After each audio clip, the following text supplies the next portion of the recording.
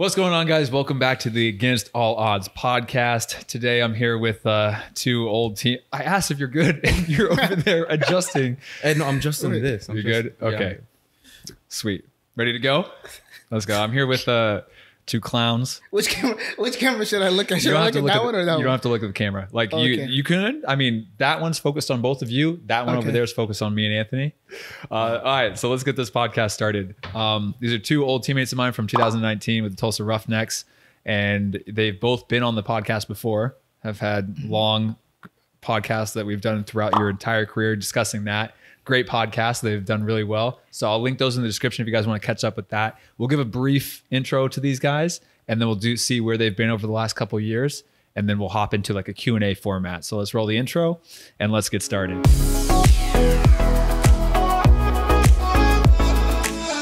So, um, Anthony, do you want to start and give like a, a, a two minute summary of your full career and where you've played and everything?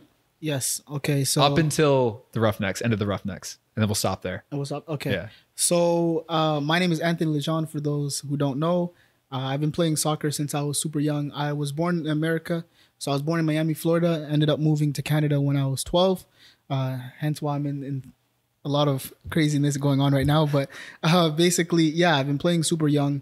I started playing with uh, house league soccer when I was around seven to eight, so mixed boys and girls. And I think as I grew older and older, I started finding more love and passion for the game. And when I got to about 13, 14, that's when I really started uh, to pursue my dream. And I really wanted to be a professional soccer player. So I started playing competitively with a team called Ottawa Royals in Ottawa. Um, yeah, there wasn't much going on, but I was trying to play every single day. Uh, I started off by playing futsal actually, because uh, as you you guys have seen in the photos, I wasn't the fittest person. I was kind of chubby, and so uh, I've always had pretty good technical abilities, but just growing up, just uh, playing through the Ottawa Royals, ended up playing for the Ottawa Fury FC Academy, which was my first pro academy. I get you can I, I I guess you can say, and basically we traveled in and out of the states. So uh, did that throughout my academy years, and then I believe when I was 17, 18, I wanted to go uh, experience France. So I left to France. I had a couple trials there, and obviously didn't work out because at the time there was a lot of things that I didn't know about foot, football, like visas and things. And these are things that uh, you learn throughout the experience. So it was uh, it was it was a tough time, but good experience for me to learn from and move forward from. And uh, after France, I went back home. Ended up playing two years of college uh, ball, which is not as high as NCAA, but it's the highest level you can play for college football in Canada. Did that for two years. On my second uh, my second year, halfway through my my last year, I got a good opportunity to go to go play in New Zealand.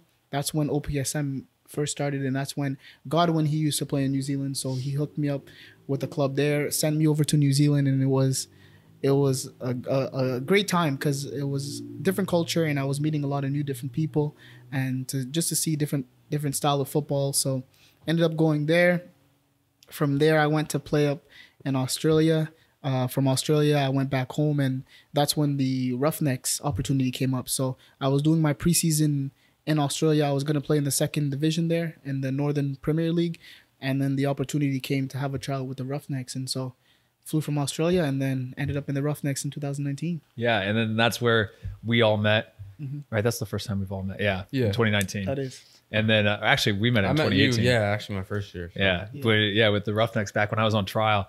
Uh, yeah, so then that's where we met, and then we'll go and do the recap. But basically, you've been in Europe, Canada, Right. America, New Zealand, Australia, traveling around, and then we'll talk about what's been going on later. DJ, same thing. You want to give a little two minute summary of your your career? Uh, mine will be a little bit shorter than that, but DJ's a man of few, fewer words, huh?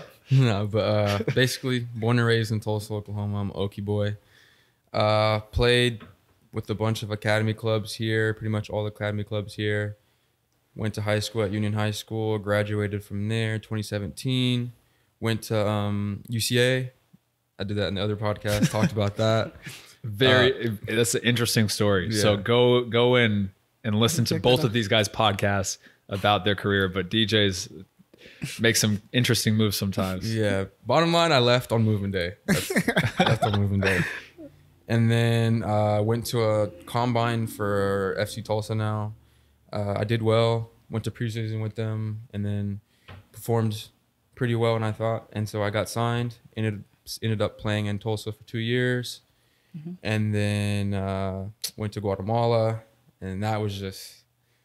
It's been, let me tell you, it's been a crazy year, man. Crazy year. The whole Mm-hmm. pandemic, everything, and it's just, it's been a crazy year. Yeah. And then that's where I'm now, free agent now. So Mm-hmm. see where we go now. Yeah. So I mean, and that that's DJ jumped. I said to go to Roughnecks. He goes all the way to now, but it's okay. no. So basically, after Roughnecks, though, because we all, we all had a tough year in Roughnecks with with the season. I mean, mm-hmm. we all did well. I think I thought we all had good seasons and, and good moments and everything. Mm-hmm. But I mean, when your team's losing and not performing, it's tough to even for the next year. Your opportunities are mm-hmm. less. Your options are less. The amount of money that you can ask for is less. It's it's just tougher. So and and Facts. most players don't come back. And so like I got I was fortunate that I came back, but you guys both had to look for other opportunities. Uh, once you left Roughnecks, what was going through your head? And then what happened? Like that was 2020, so leading right before the pandemic. So 2019, I'm not even gonna lie to you. Like at the end of the year, uh, throughout the whole year, you you you said we had a hard time. We did, and it was my first year as a pro. And honestly, like towards the end of the season, I couldn't wait to go home. I couldn't wait to be away from that environment because there's a lot of things closed behind the doors that the players like that the fans and the kids who watch you they don't see right? Like the stress into going to training every day the stress in competing. And that year was a rough year. We we trained hard every single day. We were always battling every single day. And so uh, it really made me improve as a player. It made me want it more. But towards the end of the year i was just like i couldn't wait to go home and just experience new things but during that year uh, i felt just like you said i felt like i did have a, a pretty decent year could have been better right i could have been more impactful when i was playing but uh, i played everybody can say that, you know. Right, right, right. And I was playing, I think I played 12 games in total. I think I played one Open Cup game. And even in those 12 games, I felt like maybe I had one bad game uh, where we played against El Paso and uh, I played up against that big uh, winger.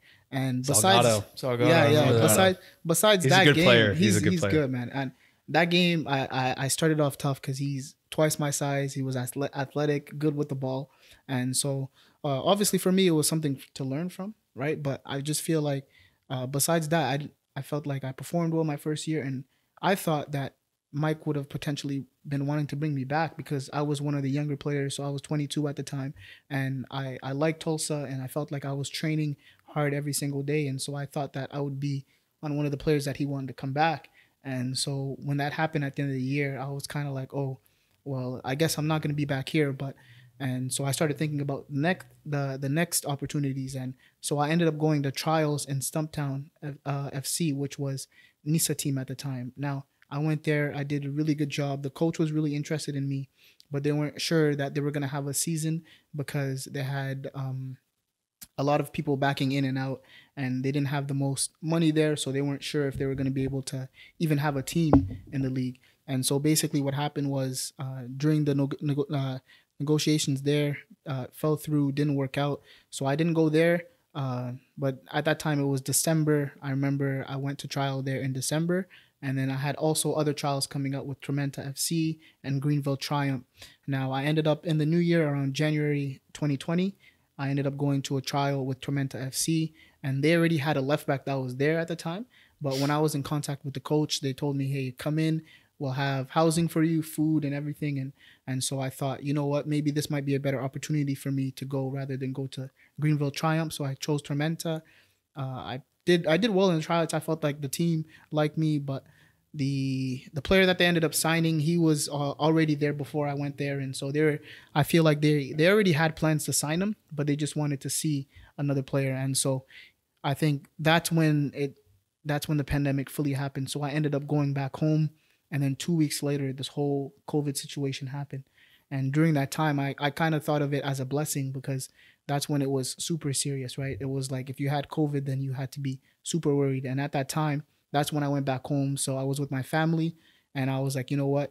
Uh, I'm fortunate, even though things didn't work out with my trials, I was fortunate to be home uh, with my family, to be uh, basically be able to train and get into the next opportunity. And so pandemic hits, and as you know, crazy, you can't even train. When I got back home, there was covered in snow everywhere outside. I was Yeah. so, uh, so depressed. you know, I was unmotivated. I didn't know where uh, I would be able to go next. And even that time I was doing YouTube, I took a little break because I was just like I, I don't even know what's gonna happen. You know, it was it was a tough year and, and not just for me but for everyone. And so when that happened, I was just like, I don't know what I'm gonna do. I don't know where I'm gonna play.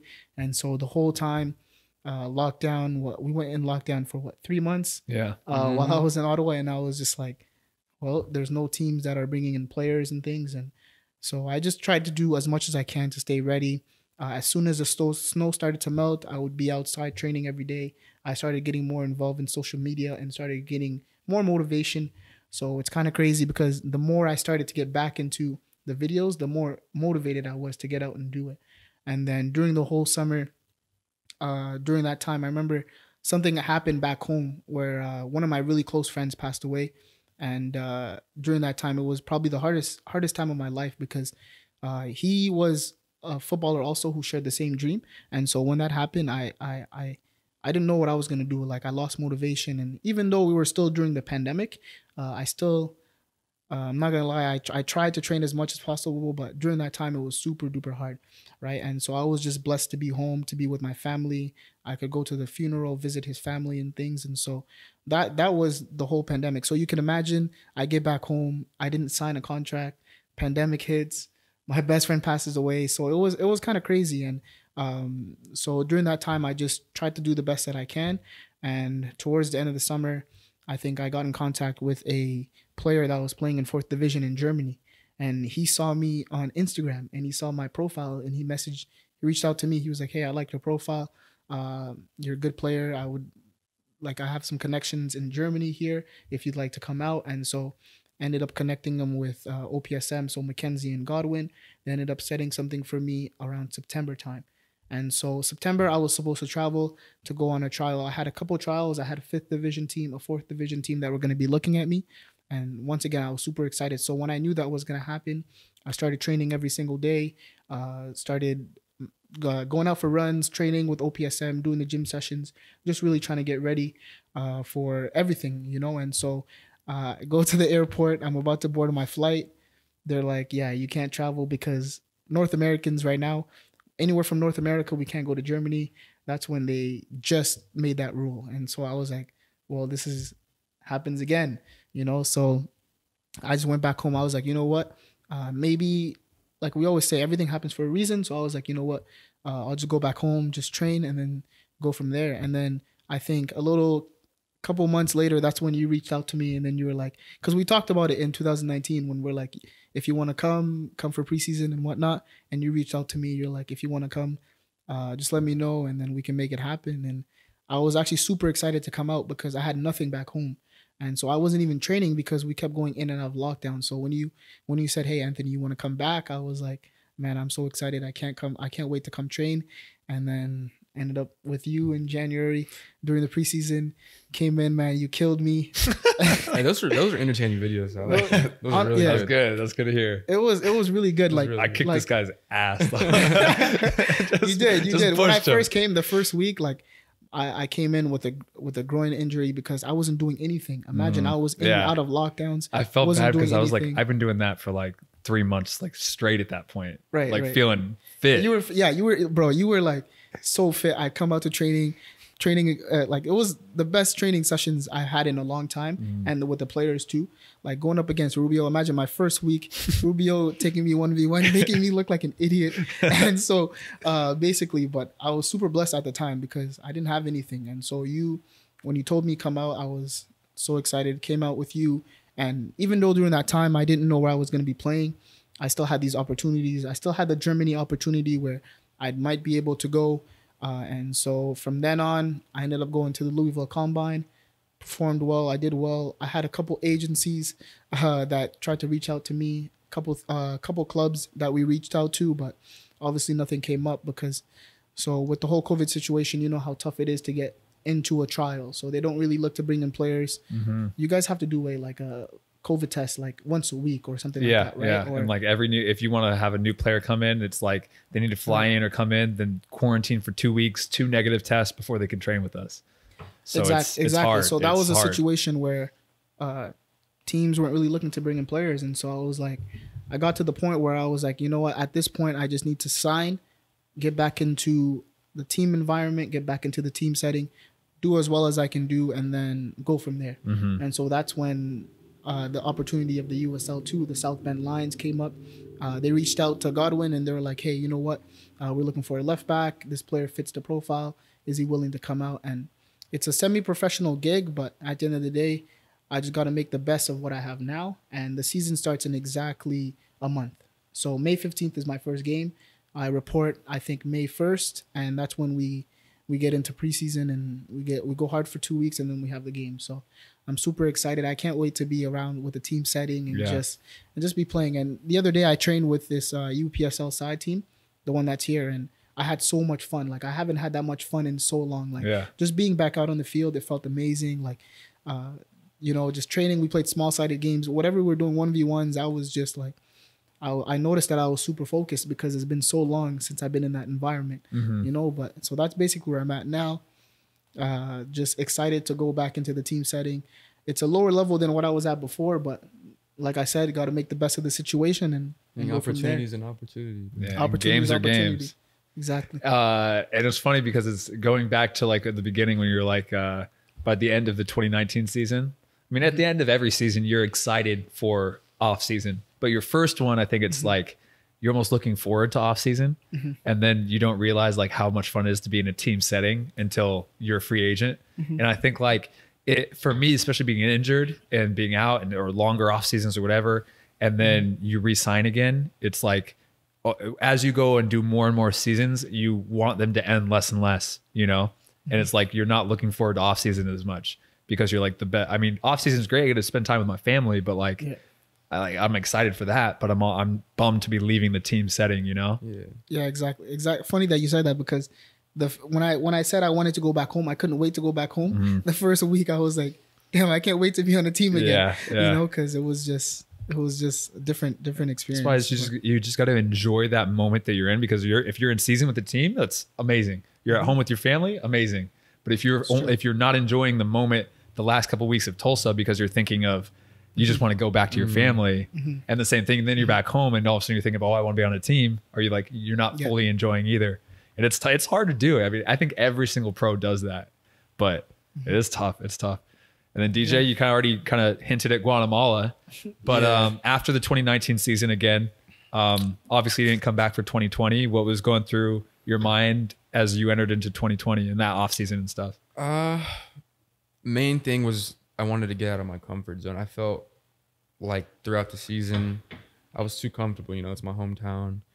But for me, yeah, that that was the main thing. Pretty much the main reason on why I left. You know, because I mean, I did speak to Mike after the season, and it was a possible possible uh possibility that I could have came back. But no, I wanted to get out of my comfort zone, and so Guatemala was an option.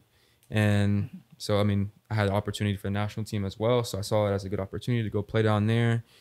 And the money, you know, the money wasn't, it was way better than USL. I'll tell you that for sure.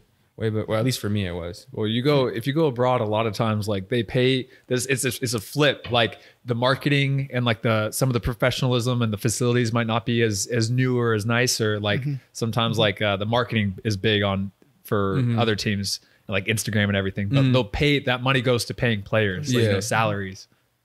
So how was and then so you chose that, and then how was that? Uh, so from the get go, I could just tell, like, yeah, there's that's the drop off. You know, the drop off is you get you get good money, but the drop off is the professionalism, the management, and so just from the get go, I could tell they're very unorganized because uh, in order for me to go, I had to be a citizen, to, or in order for me to play on that team, I had to be a citizen. So they were going to pay for my nationalization and all that, but in order to get all that, I had to bring my mom with me. And she had to get stuff from like California because she's from California. She had to Yeah. get a birth certificate, and they only gave us like a week for this. And so I get there, you know, that's my first week there. I get there, they finally bring my mom in, and it's just I could just tell like they were just not It's disorganized. Yeah, they made my mom pay for her own. They made my mom pay for her own her own hotel and all Yeah. that. So Yeah. obviously they reimbursed her after, but it was just a Mm-hmm. big you know mess. And so from then I was just I was very unsettled from then, and so after that. uh the nationalization was only supposed to take a month, month and a half. Ended up taking three months. Mm-hmm. Didn't play, just trained every day. Didn't play, and then that's when the pandemic happened, obviously. And after that, uh, went home, enjoyed my time with my family. Actually, broke up with my girlfriend of four years. Yeah. So, but yeah, uh, after that, after all that, went home. And you were training with Tulsa with us during Yeah, that, uh, so- towards the tail end of that, right? When did I start training? it was like July, June, July, right? Yeah, something around there. So That's when I roasted That's you when in you the guys half, raced- you half guys field raced, sprint. yeah, Yeah, race. I roasted him. yes, I did that. Rematch whenever you want. It's open. It's open. Whenever you want, bro. Whenever you want. That's could whenever you four- want. Hey, You're the 40 loser. yard, hey, 40 Ask yards him- this time. You're the ask- loser. Just ask him to play two touch. DJ DJ improved in two touch. Is he? Yeah, he's got. Because I remember me just flicking that year constantly in 2019. Stop. he used to be Stop. red. Stop. So No. you're training with Tulsa for a little bit. You're here for like a, a, a month off and on. Uh, was it a month? It was like a month and a half, I Uh-huh. would say. And then just waiting because in Guatemala the restrictions were so much different. Yeah. Like uh, I remember March like 16th is when the restrictions there started, Mm-hmm. and so they had like 4 p.m. You had to be in your house by 4 p.m. or you get arrested. So You get four- arrested? or you get arrested. I swear. Damn. So like I could I would open my door after like four like at four thirty the whole street would be empty. And so yeah, and so but Antigua I, like it was nothing against the team or anything. It was nothing against uh any of the players. Antigua is a beautiful city. It's my it's the motherland for me basically because my grandma's from there, my whole family's from there. It was a beautiful city. I loved it. I enjoyed the time there. The people were even better. Food as well. But came back from that quarantine, training with FC Tulsa, and then I flew back November, beginning of November to team, and then things just got more and more janky with him, and so uh, ended up just cutting the contract altogether, kind of getting like a payout thing, and now that's where I'm at right now, free agency. And you got back here in February. February, February. Yeah. And then so from February on now, you guys have just been kind of like training because Mhm. you guys have both Yeah. been in Tulsa. So you've been training together, doing Yeah. some workouts together. Workout, John Terry Workouts. workout. John, Yeah. Ta- John I've Terry been did that workouts. yesterday. Actually, I've been killing him Yeah? on the two. I've been killing him on the two touch. Have you? So, he's Guy's doing the two. T- How's uh, what'd you get on the John Terry? How many sets? Uh, yesterday I did 15, 15 sets. but at, at 11.5. Woo. Yeah, Remember I'm getting there. record? I'm getting to 12. I'm getting to 12. I'm getting Yeah, to no, 20 sets. record- no, 20 no. sets, 12 miles per hour.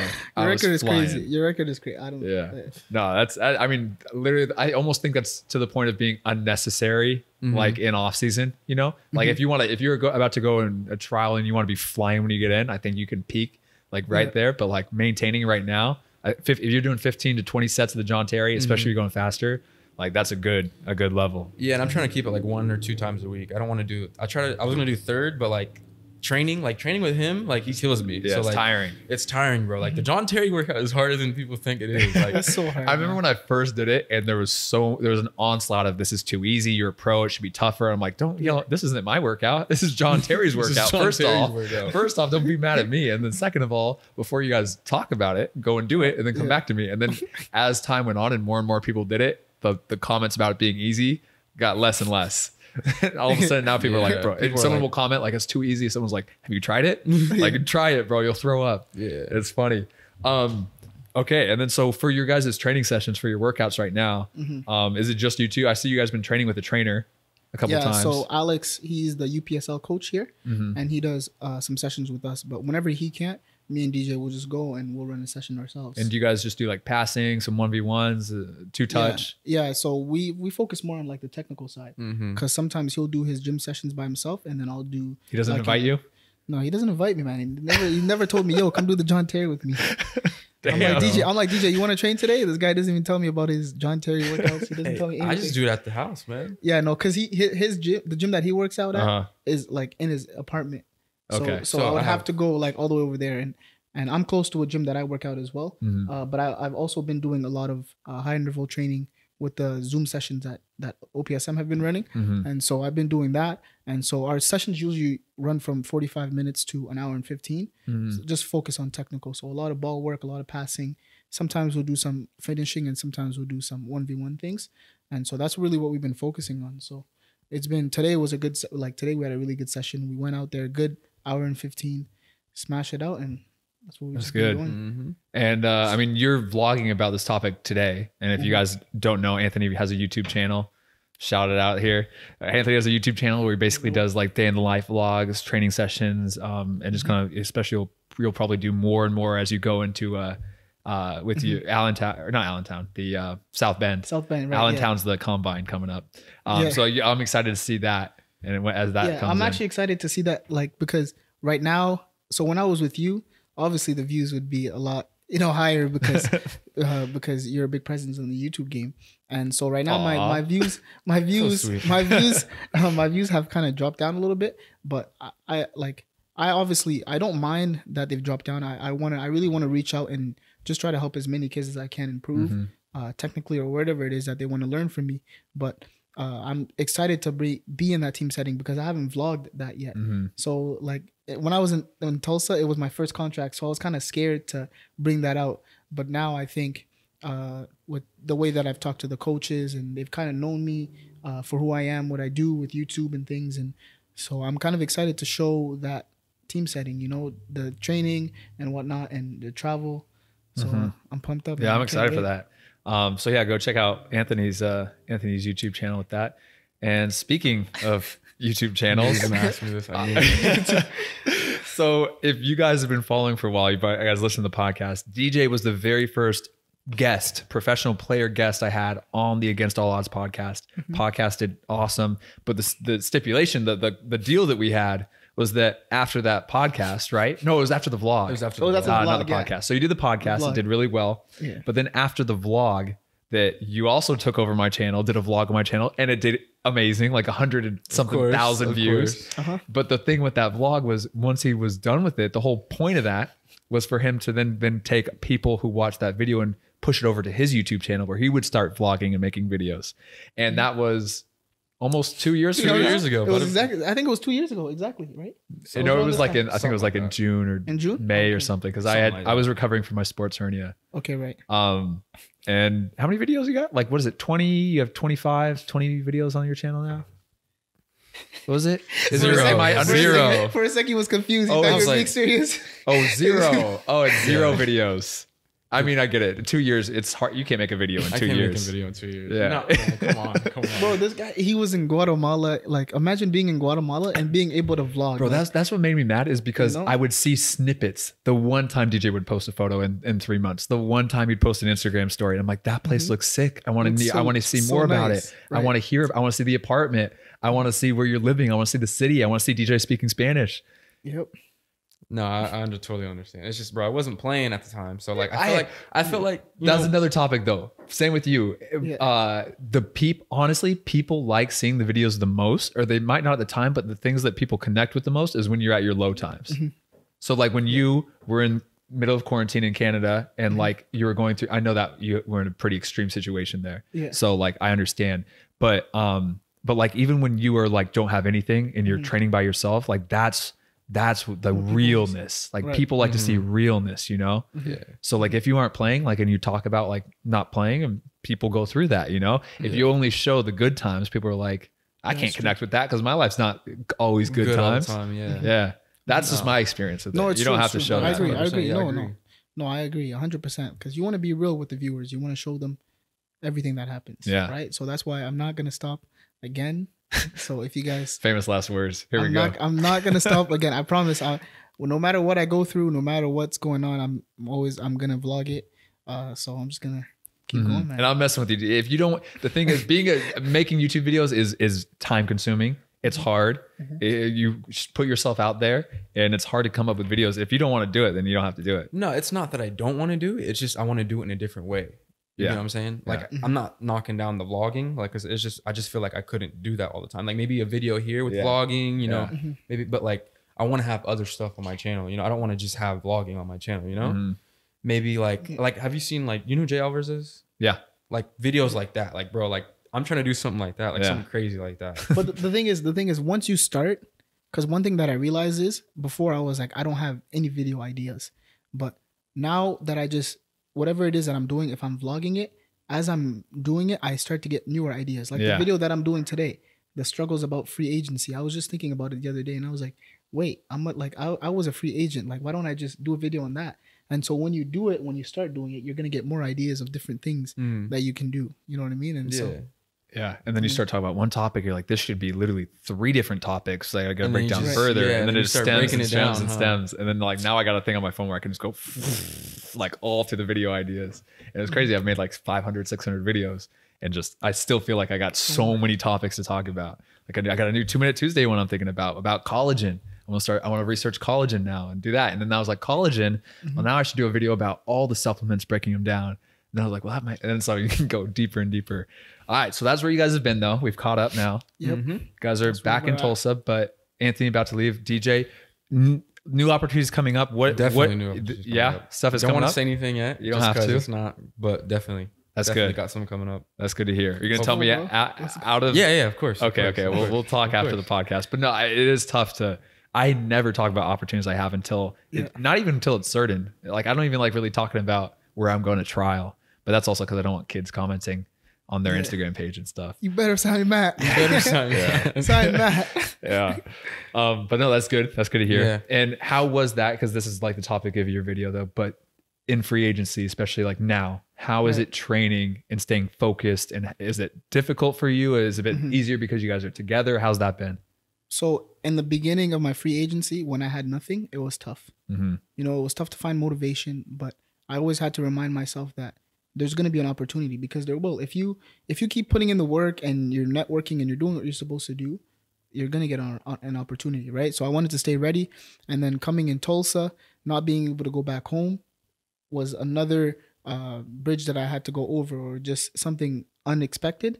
But then it made it easier that I'm here with DJ because you know how it is when you have someone to train with you, uh, rather than doing solo uh, training sessions. It's so much easier to do it with a person. Mm-hmm. So at first it was tough, but then um, as I was with DJ, it started getting easier, and then things started like happening, and opportunities started popping up, and it just got easier and easier as I kept going through it. Okay, so now I got a uh, a little list of questions on my phone that are just completely random. Some related to soccer, some just stupid ones.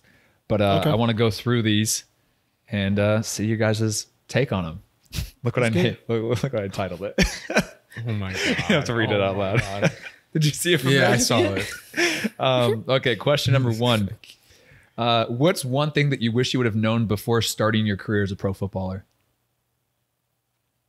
Um, I wish I would have known the logistics behind it. So, um, what I mean by that is like the traveling, the visas, because like I told you, I went to France and I was all in. I was like, you know what? I'm 18. I'm going to France and I'm about to sign a professional contract in France, not knowing anything. Mm-hmm. And it's it's really stupid of me because I had no idea, right? But imagine if I had someone telling me about these things, like Anthony, you need this visa to go here. In order, if you want to go to Brazil, you have to do this. Do you know what I mean? So I wish I knew more of the logistics side. Whereas, like, I wish I had someone that could tell me that side because then I could look at it differently, and it would obviously change the path of of my journey. So Yeah. For me, I mean, kind of the same thing. Just how hard it is to be. I mean, not how hard it is to be pro. You know, how hard it is to become a pro. You know, getting in, getting into a team, just getting into a combine. You know, you have to do so mm-hmm. good. So just knowing all that now, you know, I wish mm-hmm. I would have known that earlier, rather than just you know, just uh, hope and pray. Yeah. Mm-hmm. Do you think that like so? This is something I think about a lot because people ask me like, if I would do it again, would I have gone to Germany? Because I kind of did the same thing. Like I had somebody that brought me over there and told me about the visas, but like still, like you don't really know how hard it is going to be. And I had to mm-hmm. go and cheat Right. the system and become a student. In in Gießen, at U- Gießen Universität, and like, and like, I was not a student. I just did that to get a student visa. Hmm. But do you think that like, yeah, maybe you would have wanted somebody to give you a little bit more information, but mm-hmm. do you think that finding that firsthand was like the reality check that you needed to get that and then to have that under your belt? So then you're like, no, I need to research the visa po- policies Right. now. I need to look Yeah. at this. I need to look at this. What do you think? Yeah, I think 100%. 100%. Mm-hmm. Because it's a tough question because it's good that I went through, I experienced those because it honestly, it made me a better player. Because during the time that I was there, I was like, oh my God, what this, it's like a whole new world of Mm-hmm. football, right? So made me a, a better player and I learned from it. But if I could go back and do it differently, I would 100%, Yeah, yeah. you know, because who knows, like if you knew that before, you could have had this opportunity. Like at the time, I was I was doing really well because I was in the pro academy of Fury. I was training with the first team, and things were going really well for me. You know, so uh, hundred percent, I could have, I would have done it differently. Right. Yeah. And like and for you too, like uh like that's almost something too of like realizing how competitive the pro environment oh, is. yeah. That's something you kind of have to feel I, I, firsthand. literally, I was. I remember, I remember being like 19, thinking, "Hey, you know, I'm gonna go in. I'm gonna kill these guys. You know, Yeah. Do well." You get in there, you Yeah. get smacked, man. It's just it's it's crazy. the then same. all of a sudden you're going one v one against Matt Sheldon and losing every single yeah, that's time. not true. That's not yeah, true. that's Every cat. single That's time. cat. cat. That's that's not. no, but I mean, it is. It is though. Like, Yeah. I mean, you, yeah, maybe if you had a mentor to tell you that and be like, "Look, you're not just going to come in here flying," but still, like, it is something you have. You have to experience a pro team and realize how competitive every single player there is. Because those are the moments that like you, you know, you gotta make or break you. you Yeah. know, you got it. You don't got it. You know. Mhm. Yeah, I agree, bro. Because the the biggest thing I re- realized in my first year of training with Tulsa Roughnecks was the intensity that we train at every day. It was like whoa. When I went back home, and a lot of my friends that I played with that play at a competitive le- level or whatnot, when I went back home, when I played, like it was you saw like the difference. So Facts, during facts. that during that intensity, it's like how how much hungrier you were. You know how much more you want to win. So all those things that they, they all play into into a huge part of it. So Bet, fam. you better put that on. I will. I mean, it's, I, Bet, don't, I, don't, fam. I don't edit this at all. I just cut out the where I have to move and change the cameras. Um, You, Matt loves embarrassing himself. yeah, I do. It is. It's like a what's it like when you enjoy hurting yourself, like a masochist. Like I don't know. I'm, I don't know uh, I don't even know what the that's masochist. I've never. I keep forgetting you guys are really dumb. I got to dumb this podcast down for you. Uh, no, I'm kidding. But um, uh, what was I just gonna say about uh, what were we just talking about? Oh, so we're the dumb ones. Yeah, no. yeah, we're the dumb ones. Dang. This is your podcast, bro. So we're talking about the intensity in trading. I and the remember level now. Of amateur and pro. Yeah, no, that's one thing I noticed too, especially with guys who, um, like younger players that are coming and joining a pro team for the first time, or even pl- players that've been on like been playing semi-pro and come up. It's like the ball comes to their player and it's not, they're not pressuring. It's like that they're three yards off. I'm like, are you gonna go and pressure him? Or are you just gonna stand there and look like an idiot? Like step, like go. And the same thing with uh, like on the the time on the ball. Like people will have time on the ball and start to turn, and there's no one, no one there. And then on the flip side too, like the speed of play and just the intensity of it, like it's just so much more intense. You can just see immediately just mm-hmm. on the intensity of the even the step, you know?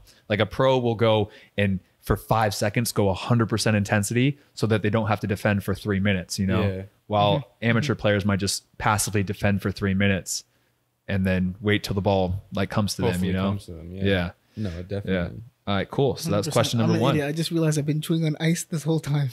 so, Straight so into in the mic. podcast, you're gonna, hear me in the The whole back. time. Oh my god. At least DJ spit out his gum. Yeah. At least we got that. Okay. bro. Um. Damn, I should knew I should got no water, no ice. So you know how if you get like the death sentence, you get a last meal. mm-hmm. What would be your last meals? Hmm.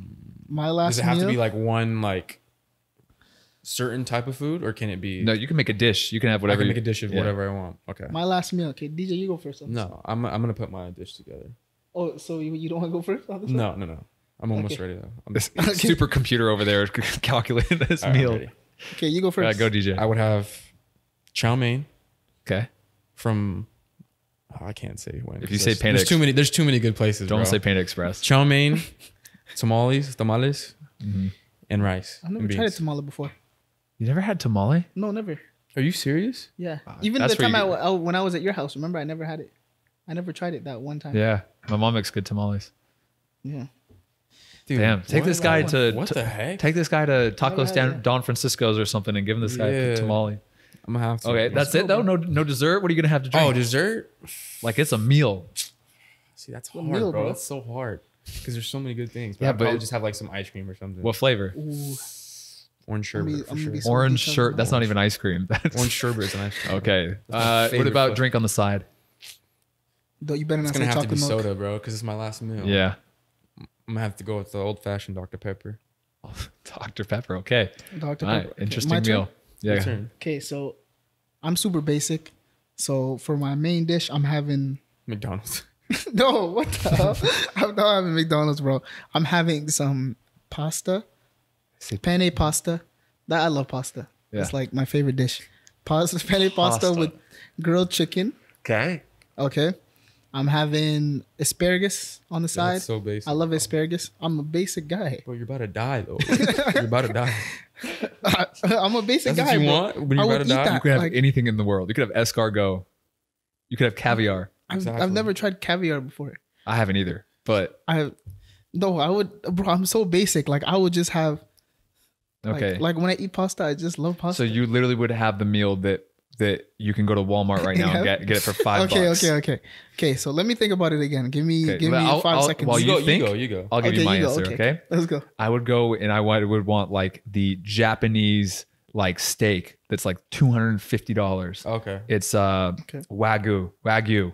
It's Okay. literally like the way they make it and the way they have it with the cow is like it's so expensive. But a wagyu steak, I would have a big thing of mashed potatoes on the side. Um, I'm gonna go with asparagus as well. Asparagus. Okay, Just copy my answer, but okay. I'm just kidding. I would I would also do I would also do a I would probably do like in and out like in and out burger and some french fries. And then Right. because that's like because I got the nice food, but then I got my guilty Okay. pleasure food. Okay. Okay. And then I'm gonna drink chocolate milk, hundred Yeah, of percent, course. because it doesn't matter if I have gas. Like I, I don't even need the lactose free Yeah. one. I can have the normal chocolate milk. And then dessert, uh, I'm gonna have chocolate molten lava cake with vanilla ice cream. Okay. Okay. That's a That's- meal. That's, that's- a last meal right there. Okay. Okay, that's Not- impressive. Not, not grilled he's- chicken penne pasta. Bro, but that's what I like. That's, like- what I like to eat, man. Okay. Anything in the okay, world. Okay, so anything in the world. Yeah, it's so hard, bro. I'd probably have okay. I'd go okay, if I can have anything in the world, I would get yeah, same thing. I'd get steak. Okay, steak. next question. Listen, no, no, let me Oh, finish my okay, answer. okay. Okay. let me finish my answer, man. I would get steak and asparagus, mashed potatoes on the side. I'd have a side of Chick fil A because you guys know I love Chick fil A. I would Everybody loves die for Chick fil A. Chicken, spicy chicken sandwich from Chick fil A, large fries, lemonade on the side from Chick fil A. Uh, I'd, for dessert, I'd have a chocolate chip cookie. Mhm. I'd have red velvet cake with ice cream on top, vanilla ice cream on top. Jeez. Wow, I like that. There you go. There, there, you go. See, you copied my answer a lot, but that's I didn't okay. copy what? How you did, did, I copy? steak, mashed potatoes, asparagus, and a guilty pleasure of Okay, fast wait. food. So first of all, French first fries all- in a burger. That's literally what I said. no, no, no. Asparagus, you copied from me. One meal, and you copied everything from me. Okay, whatever. Next question. Next God, that was a painful question. that was hard, but that's something Matt definitely thought about before. Yeah, definitely. Put him that's what goes- that. That's what goes through his head. He's like, I wonder if I had to. well, today. you know why? Because like I was on like Reddit or like some social media, like Instagram, and there's like pictures of inmates' last meal. I'm like, well, huh? And there's some weird ones on there, and I'm like, what would I? And then so that's how I started thinking about it. So now it's a question I like to ask. Um, okay, now we're gonna go back to soccer. Flip it a little bit more, uh, more uh, focused. How did you get your first agent? And was it because we all are with OPSM, Mm-hmm. um, which is our agency from Ottawa. But who was your first agent, and how did you get that one? Because the first agent, I think, is always tough. uh, I got my first agent actually because I was playing with Jeff when I was 17 or 18 at the Mhm. time, and I was playing with Jeff. So Jeff just came from uh, university, and and then Godwin, uh, he was at the game. But this was before he started OPSM, and this was before he was thinking about becoming an agent. Yeah.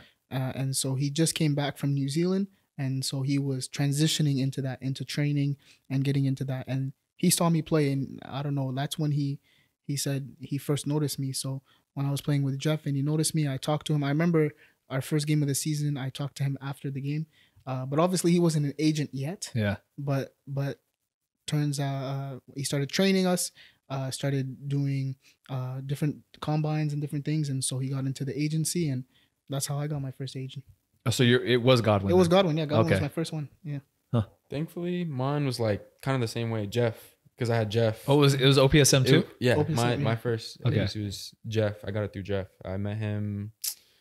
I don't even think he was on the team yet. I think this was twenty my first year, and he was like coming on. I don't know if you remember that. yeah, he came in in like like in July or August. Yeah, 'Cause you he was You like guys came in at, sa- at the same time, right? No, he came in like a month before I did Okay. because I had just missed the window. I came from New Zealand. Okay. And then Jeff came like a month before that, and they were sorting out his contract or papers or whatever. Yeah, I remember. But it that. messed up. Right. And basically, that's I mean, he uh, Jeff gave me Godwin's info. Godwin contacted me, and that's Mhm. how I basically you know signed with OPSM. Yeah. So it's basically through Jeff, both of them, like mm-hmm. a like a, a mutual connection that you had. You mm-hmm. were a player, you performed, and then Jeff was like, "Hey, here's the an agent." So in the like the broader mm-hmm. scheme, this is like for players because like finding your first agent is tough, and I think that a lot of people don't realize that you know out of everybody you're connected with, especially even at a younger age. Mhm. Somebody's got a brother, a cousin, an Mhm. uncle. Somebody's got knows a player that's playing in Finland who has an agent. Like, there's always everybody's so separated from an agent by one or two strings. Or two- you know, Yeah, exactly. so it's like you have to kind of like Mhm. go and put yourself out there, perform on the field first, but then also, you know, be open about, yeah, I'm looking for an agent. Who do you have? Do you know anybody? And then you kind of, and sometimes it's lucky and they come to you, but sometimes, Mhm. you know, you Yeah. build, you find your own. But it's like, it's like that crazy stat. Like everybody in the world is supposedly separated by seven connections. Like everybody that's Wow. crazy. that I don't know if that's 100% true, but that's the Right. theory, I think. And you can literally go from like LeBron James to like my Aunt Lynn. and from seven people go, well, LeBron James knows this person, who knows this Right. person, and then to my Aunt Lynn. Hey, that I mean that's honestly like Makes that- sense. Yeah, it Yeah. makes sense. Yeah. Yeah. So crazy, huh? That's so crazy. Mhm. So Put it like that. Yeah. All right. Next question. Go. Um, what's some expectations versus realities that you realized with pro football? You know what I mean? Like, so Mhm. like you thought like when you were younger and you're thinking about being a pro or your next five years, and then all of a sudden you get here and you're like, wow, that is nothing good or bad, Right. but that's not what I expected. Uh, I have two things. Okay. So in North America, I would say it's uh, the money wise. Mm-hmm. When you're younger and you see the pro players and you see them, you think it's Oh yeah. you think so they're true. getting so much money, and what you don't know is when you get in that environment, especially if it's your first contract or you're in the early stages of your career, it's it's not at all what you what you think it is. You know, because you grow up and you see the the Neymars, you see the Messis, and the amount of money they're getting, and you're just like, you know, you want to be making that much too. So there's that, and then there's also, uh, I just thought it would be a lot less stressful. Mm-hmm. Like it's like a good stress. yeah, Like you're training every day, and it's a pressure. it- yeah, the pressure, bro. Mhm. Like it's like if you don't perform today, you're not gonna be playing in the weekend. Yeah, And even if you think you're performing, you think that you're doing well, and you're not in the lineup. It's just like, like you know, it's just so much pressure. It's literally to- like on the like a ball comes out to you and you're on it and you have Yeah. like your five crosses and if I don't get this cross in and I don't hit the striker, then then I'm not going to get a good uh, look for this weekend. And if I don't play this weekend and that other person comes in and plays well, then now I don't I'm not going to be going to get any game time. If I don't get any game time, I'm not going to come back this year. I'm going to have struggle to find a contract next year. If I struggle to find a contract next year, I might not make enough money and then I'm I have to quit. That's literally from Yeah. one cross. It stems all the way up to like my career's over. You know? And it's Yeah. funny, but like it is, it goes through your yeah, head. it does. Yeah. yeah, bro, I, that's what I would say. Pressure, like the that's the most number one thing that that I I felt. That. That's Mhm. kind of you kind of took mine. That first one was good though. I like that that money one. That Yeah. money that is so true because I mean when you're a kid you're like oh my god these guys are making the big bucks they're Mhm. pros, Mhm. and then you go and there's guys that are like barely making anything hmm and it's just like Especially USL and like lower leagues around the world. I'm Yeah. just like that's man Yeah. that sucks. even it's crazy too. Like even like you think in like La, La Liga, the lower teams in La Liga, and you have some of the younger players there. They're not. right. They're in La Exactly. Liga and they're Yeah, not. yeah. They're not making Yeah. crazy amounts of money. Yeah.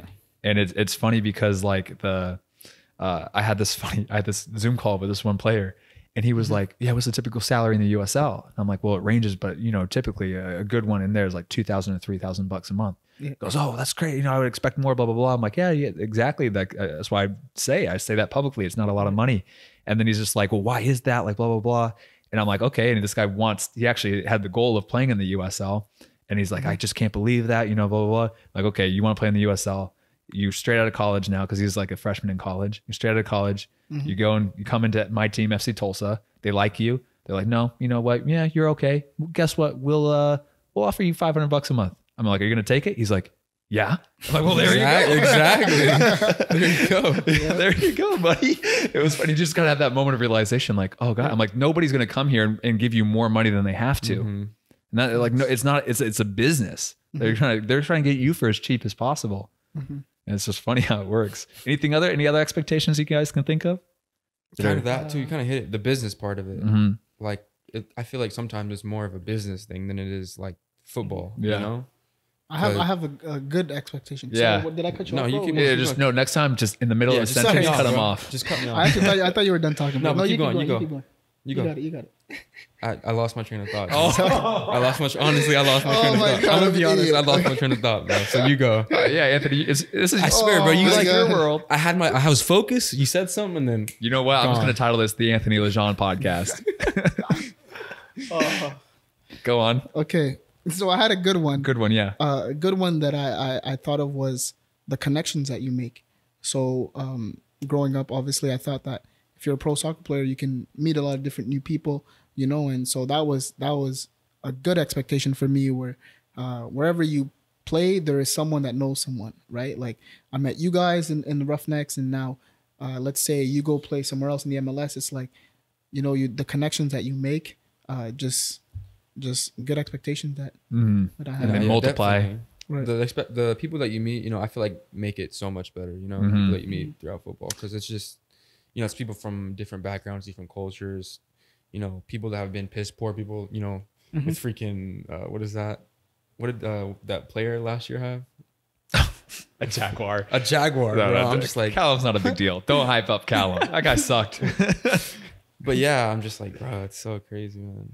Yeah. No, I, another good expectation I had is like, like I always thought for for the pro level it was going to be. I almost kind of I saw like it was fun and you know you're a team and everything. It'd be a team atmosphere. But for some reason, especially as I was like going on my first trials, I kept on thinking like all the players were going to be like less of a family and it'd be mm-hmm. more like and it is it's a little bit less of like a team like college or something or like your club team and mm-hmm. friends and it's more of like like pros and you just you, you don't have to be friends with your teammate you know? But I, I underestimated how close you actually get with your teammates.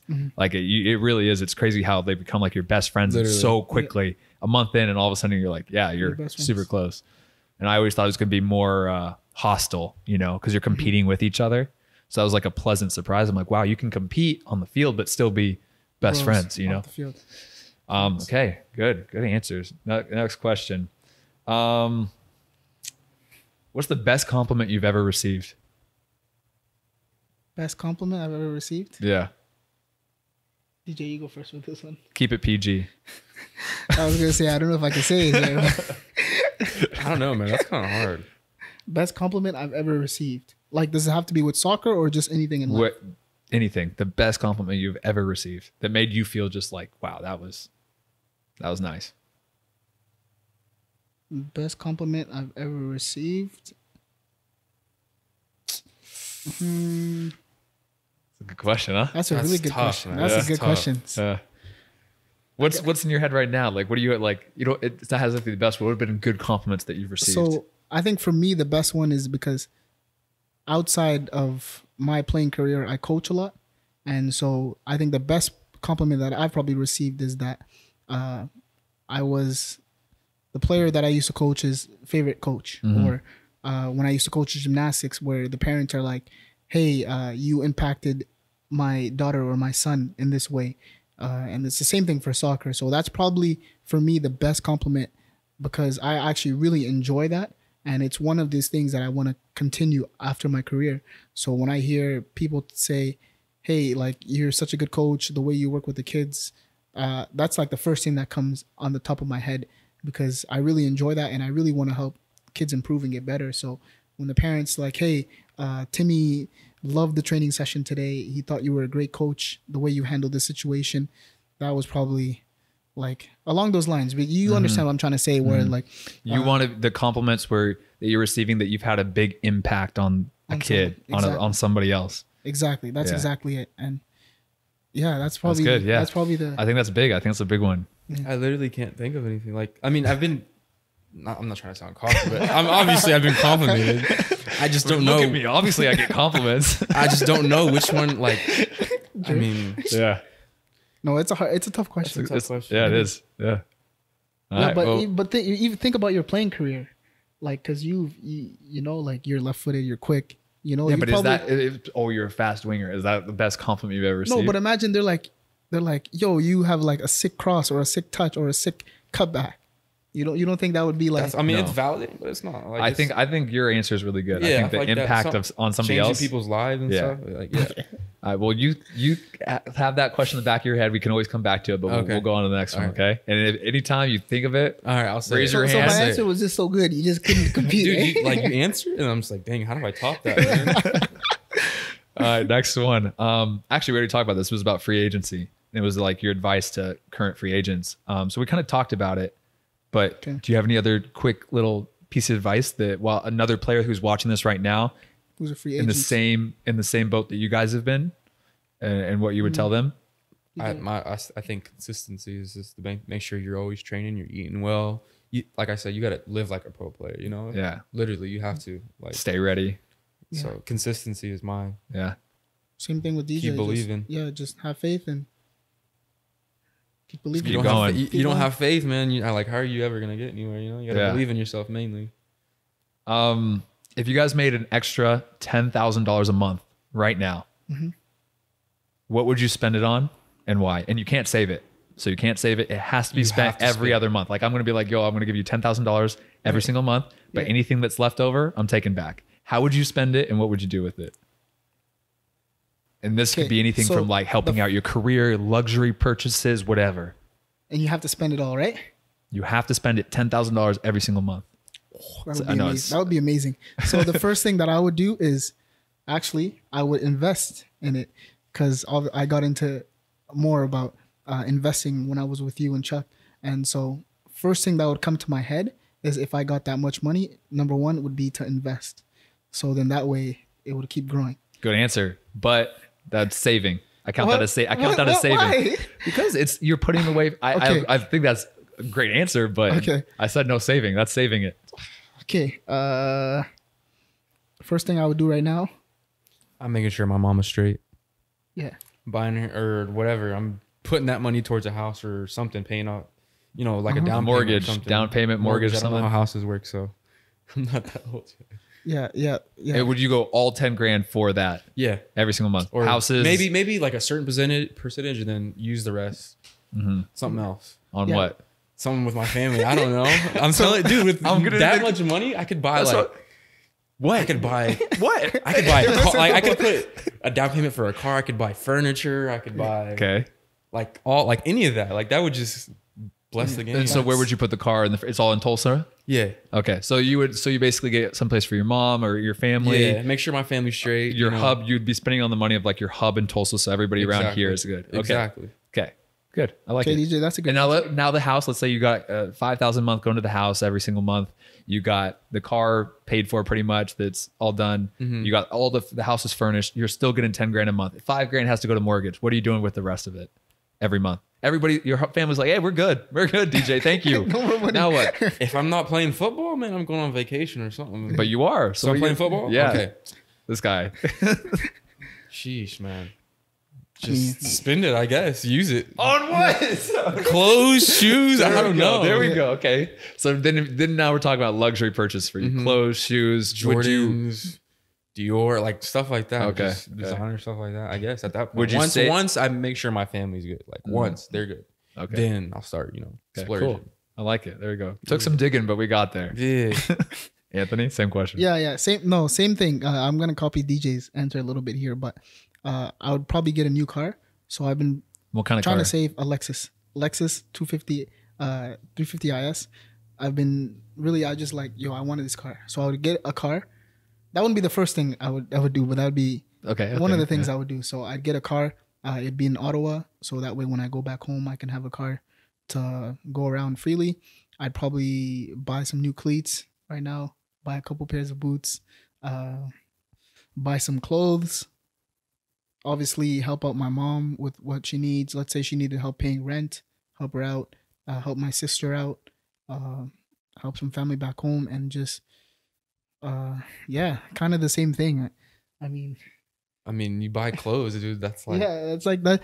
Or or or you know what? Actually, Hmm. I would buy a new camera. There you go. my vlogs. There you go. Okay. So That's a I'd buy answer. I'd buy the, Nice, nice Sony camera. the Sony camera, the same one that I was using, the Yeah. OPSM camera. I would get one of those. I would get lights. I would get uh yeah, all the, all these things for my tripod, everything that can Mhm, grow Microphone, my microphone, everything that can grow my YouTube. nice uh, editing computer desktop or something. Yeah, like a Mac. fat Oh, Mac. yeah, I'd get a new Mac. Actually, I need a new Mac. There you go. see? so much stuff. Yeah.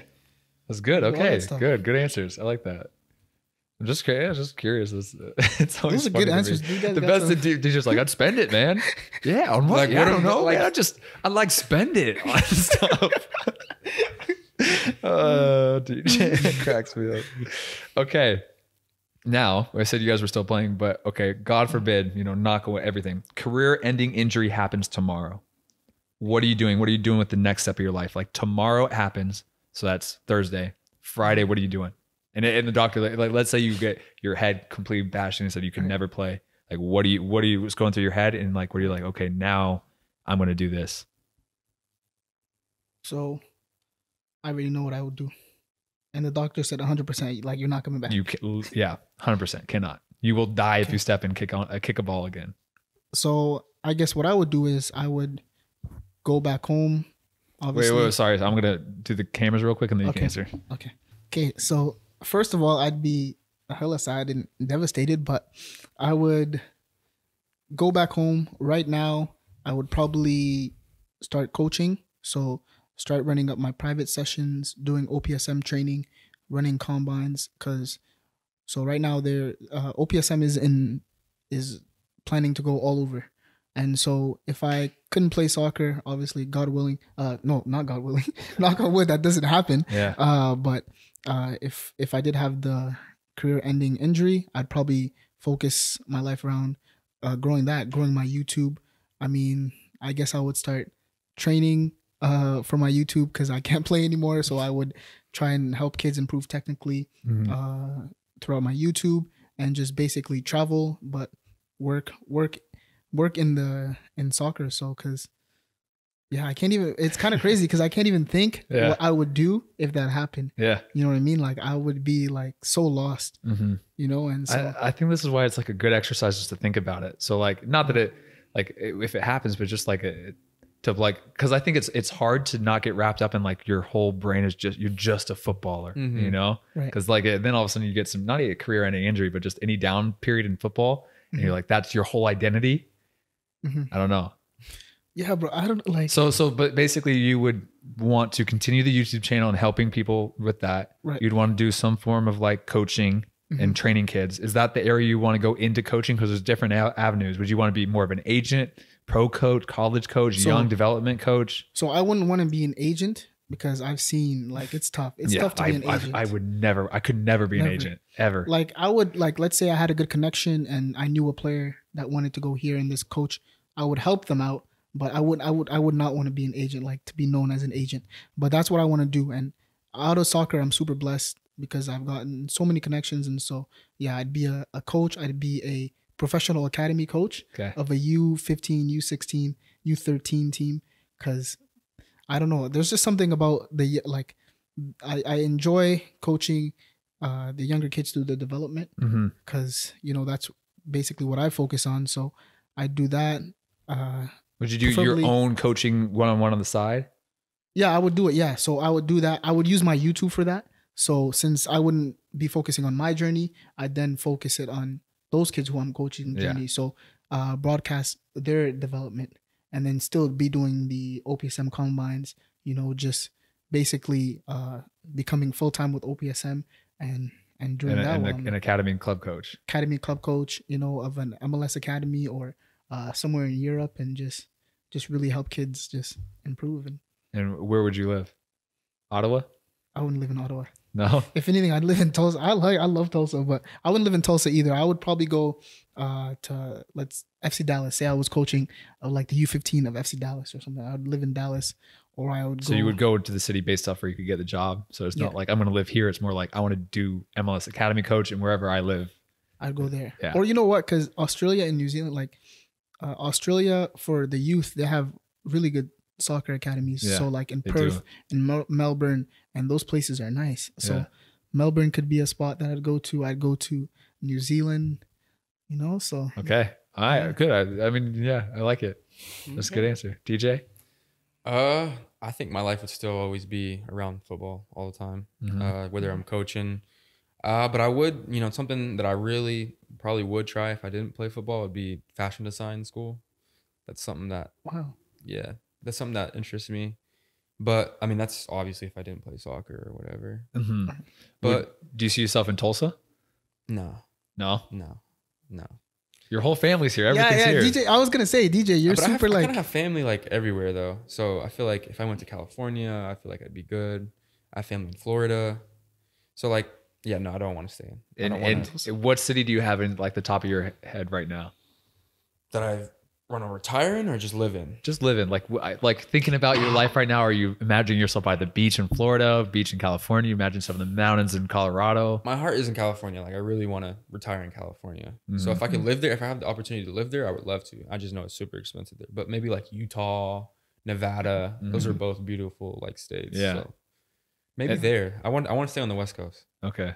And then uh, when, when you say involved with football, do you want to? Are you thinking like coach, like maybe head Coach, coach, head coach, anything. highest level you can, or is, do you have like an age range that you're thinking that you're seeing? Definitely older kids. Definitely older kids. Mhm. So So you you- little kids. Yeah. I love little kids. Just- I- I just I rather coach. Little. It becomes more babysitting with with like under ten, uh, under eleven. No, I But- def- not just because I'm really competitive. So like, I'd really want to be like a competitive coach. You know, with Mm. a great team that you know can play.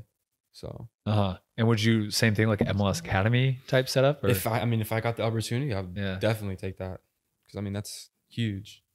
Okay, so we got in, in California somewhere, Somewhere, West Coast, somewhere. West Coast somewhere, Nevada somewhere around there. Even Portland, like Portland's beautiful, man. Uh, Portland's you like the rain? Not the rain. Portland when is I cold. there, Do not go to Portland. dude, when I It's was in Portland, it did not rain once. I swear. there. it did yeah, well, I rain mean, you go there in June, August, September, sure. I'm like, bro, this is beautiful. I go it's there. cold. It snows there too. Don't go there. That's Yeah. crazy, man. Um, it just rain. It rains all the time too. But uh, no, okay, okay. And then so you're involved with, with coaching s- s- wherever you can. Where you want to be involved with the game, and then maybe on the side do some fashion. yeah, design I mean, stuff. obviously, if it worked out, made money with it, if I could find a job doing that, because those are, Mhm. that, I heard that's like really hard to find a job in fashion design. Yeah. So, yeah, I mean, that's something I would that would interest me if I didn't play football, YouTube channel's got three videos at this point. Did you start your own merch? dude. See, I've I've thought in that far ahead, so Right. That, you don't think I'm lagging. I Don't think feel you. I'm I feel you, bro. No, that's cool. okay, cool, cool. That's actually kind of cool because I've known you for two years, but I didn't even know you were into like fashion and design. So yeah, that's a cool answer. I like that. I That's why podcasts are great. You learn about people. Yeah. I love them. I, I really like doing them. Um, okay. When did you feel like you guys were at your absolute like fittest, sharpest, mentally strongest period of your career? Like the day you're like, this is the I'm I'm at the high of like, and I'm not saying like your general prime because like I, I I think we would all think that we're in the prime of our Mhm. careers up until now. Like even for me being 28, almost 29, I still feel like that. Mhm. But I'm saying like a moment, like a week or a month or something where you're like, I'm feeling fit, sharp, confident, Mhm. happy. Do you have a period that sticks out? I do. I have two. Is, is- can it be two or no? No. Oh, shit. I'll give you two. I was gonna say it Can has to be one, but one? you know what? Let's do two Okay. Well, if you have to. I have two. Okay, so the first one was so I just I started playing with the academy with the Ottawa Fury Academy when I was 15 for a whole year. Ended up switching coaches. The second coach cut me uh, because he just felt like I wasn't as good uh, as the other players. And so during that year, I I worked my butt off. I trained every single day. I still trained with the team, uh, even though I wasn't on the team. I'd go to training sessions with the guys, and uh, the year of 2016, I had tryouts coming up for uh, what was going to be the the first year of the pro academy, and I remember during that time, throughout the whole training that I did the whole year, I was so mentally like focused. I, I had like the only thing I could do was to sign, or not to sign, but to make the team. And so during that time, I remember uh, I would before training sessions, I had a routine. Like I would go to work in the morning, I coach gymnastics for like four or five hours, go home, take a nap, uh, wake up, put my motivational music in, go to tryouts. And I, I just remembered during those tryouts, I just like, I was so confident in everything I did. My passing, uh, my finishing. And I don't know if you guys have ev- ever had these situations, but like times where you do things and you're just like, what the, like, like it's just, It's so instinctual. right. It just right. Stuff just like, happens. you're like, how did I just how do did that? I just do that? So like that first time and And that year, I think that's the first time that I I felt I was like, wow, this is this is gonna be good. And then my second answer would be preseason with FC Tulsa because Mhm. came in, Mike had us going crazy, like every day, double days. And I remember that time I was trying to do three sessions. Remember, because I was so like, I was so like, man, I want to be Young, like a naive. And then you guys were like, "You're an idiot. You gotta Yeah. do three sessions." And and then Jeff literally came up to me. He's like, "You need to talk to your boy Anthony. He's like, he wants to to do Anthony." a third session in the double days." I was like, "Bro, and I felt and I, even that time, like you I feel was great, so yeah, I felt so great, but I was so like at the time inside I was so frustrated because I was like, man, I want to get better so bad, Mhm. you know. But these guys, you guys are professionals. You guys have been in that environment, so obviously I listened to you guys, you know. But at that time I was like, man, I wish I could train more. Like the when we did like the beep test and stuff. Yeah. Remember? Like I think you you you won it or no, No, you came got- second. no, I got Renan Renan came first. Renan. I was like top five, and I'm never like like Yeah. top fittest uh, on the team. And so during that time, I just felt like either it's like a tie. Honestly, it's a tie, but uh, I felt so confident when I came in, and I just felt super fit. And I yeah preseason FC Tulsa, and then my tryouts in 2016 with the Ottawa Fury FC Academy. I like it.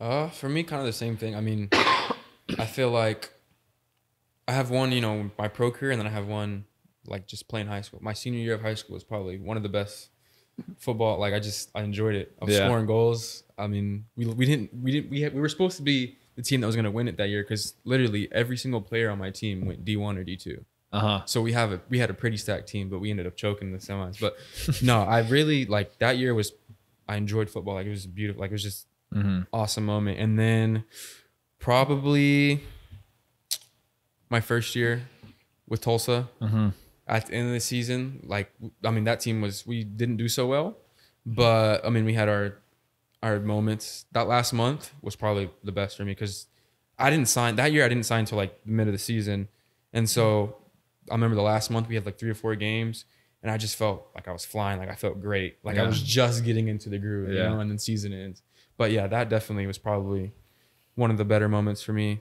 I had I felt like at Tulsa my second year I just I would I would feel good and then I would get hurt Yeah. yeah. and it'd just start back over again and then Mhm. but I never felt like I had like a consistent like month and a half or like two months where I was just like flying, you know? Yeah. Yeah. yeah I, I, little tiny injuries or not Yeah. consistently starting lineup or like even like confidence sometimes, like we're just like, like sometimes you just are like the ball's out there and you just like hit it. You're like, you know what's going in. Other times you're overthinking it. Like, okay, I need to get this on frame this way? It's just, I'm just, it's funny when those moments happen.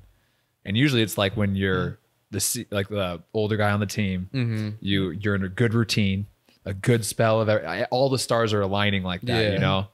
So that's, that's good. Um, next question. How has your career gone differently than you first imagined? So if- when when little Anthony and little DJ, you know, after se- during your senior year, like right when you're like, okay, I'm going to go pro, you always have vision, visions of how how it's it's going to go, Yeah. and they're never right. Yeah. Why? How is that different? uh, for me it was it was probably because I just thought that I was gonna go here and I was gonna sign. In France, Or yeah, I was gonna go to France. I was gonna sign. I was gonna go and play in Australia, and I was gonna go kill it. That's what I always thought. But like you said, it never happens. And so when I first signed with the Roughnecks, my first professional contract, I didn't even have that in my mind. Like I, did, I mm-hmm. had no idea. My goal was during the time I was in New Zealand, I wanted to kill it, play in the Winter League, play in the Summer League, do well, and get picked up by Auckland City or something, kill it, and then go to Europe at Yeah. the time. That's what my my my headspace was at.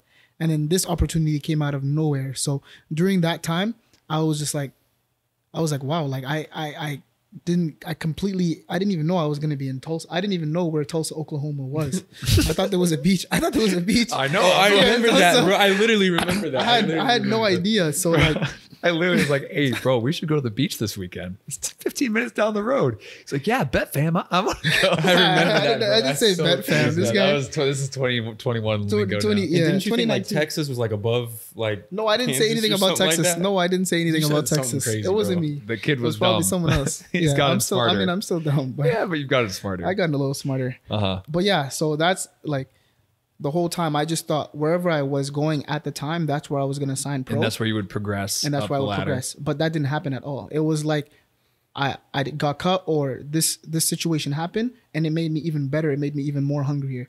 Like during the time in Australia, I was struggling. You know, sometimes I didn't know where I was gonna sleep, and then during that time, I but I thought before that I was gonna be like, oh, I'm gonna be playing second division in Australia. I'm gonna be killing it. Ended up going to Tulsa and then signing there. See, for me, hmm. I like whenever I first initially thought, "Hey, I want to go pro." My first thought was like, "Hey, I want to go to England." Mm-hmm. I thought it was like so easy. My being so naive, I was like, "Yeah, I'm gonna go here. I'm gonna get a trial, like, kill it, it's sign." Didn't didn't happen. Obviously, didn't know how difficult it was to get into England, or especially at that time. That was like 2018 or whatever. Speaking of, vi- that's like the hardest place to get a visa Yeah. as an American. Like Yeah. uh, you literally need to be national team in order to get like a clear cut visa in there. So it was it was way more difficult than I thought. And so I felt like just starting in your own market. That's what uh, one of my mentors told me. Just start in your own market, see how well you do, Mhm. And that's how I got basically Mhm. playing. So you kind of just thought like a easier route in England, a more clear path, and then Mhm. all, all of a sudden you're just like, just wow, get played. I was, I was like, I'm just gonna play non-league or something. Hopefully, Yeah. get picked picked up. Somebody. That's that was my thought. You know, just play non-league, get picked up. But it's not as easy as everybody says or thinks it is. yeah. Did you have any teams interested at all, or was it all visa was just too hard to get? Uh, well, it was mainly off connections, Uh huh. and it's crazy because it was actually Mike. Yeah. It's Mike that I was talking to at the time. That's that was funny. because I know he had sent somebody, but that kid had already like that kid had an English dad or something like that. That- so it's way more easier for that. So I just I thought being so naive, just thinking it was that easy. Just Mhm. I'm gonna hop in, Yep. get signed. It's not that easy. Yeah. Yeah. Because I mean, if you got English citizenship, then yeah, You're- sure, you you're could start 12th division. Like, yeah, yeah, you're good. Like, it doesn't matter. That's why I would love to have like some form, like a European passport. yeah, exactly. just to man. bounce around, and especially like uh, uh, once you get towards the tail end, you're like, oh, you know what? I'll play third division in Finland for experience. I think that'd be cool. Yeah, European passport would be so clutch. man. Yeah, So, uh, bro. could be worse though. yeah, yeah, yeah. Could be worse. Facts. American's not bad. Yeah. Um, next question. Uh, okay, now, what was the happiest you've ever been on the field? You kind of we already talked about it a little bit with like when you felt the best, but when was the happiest Mine is making my debut, honestly. as a pro? Yeah, I remember calling my mom after. I was so happy. Mm-hmm. It was honestly like one of the, even though we got smacked that game, I remember it was like 4 0 against. Who'd uh, you play? We were in, uh, where were we? Orange County. Uh-huh. Orange County. That's where I made my debut. But no, it was the best, bro. It was, you can't explain the feeling. you know, Yeah. Making your debut, bro. It's having that name on the back.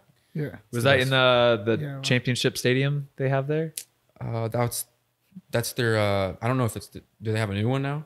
No, it's like that same little Yeah, it's a stadium. It's a stadium. Yeah, yeah, yeah, yeah, yeah. Yeah. It's nice. And the weather was perfect too. I remember yeah. everything about that. So Orange County, bro. That was Yeah, the Orange best County, yeah. Every single day, you don't have even have to check the weather. Like it's seventy degrees and 70 sunny, degrees. no wind. let's go to the beach today. man. Yeah.